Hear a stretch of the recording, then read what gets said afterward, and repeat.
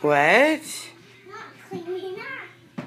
Okay, let me show you the doll mess. Here's the doll mess. Here's the girl that said she was going to clean him up. She's the one that I got him out for. So let her know this is going to be the last time she gets to do dolls.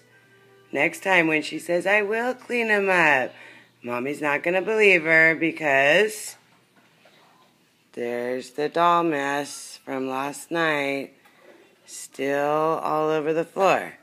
So guess who's going to pick them up? Mommy is. And they're going to be put away.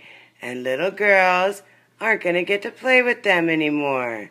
Too bad. Bye.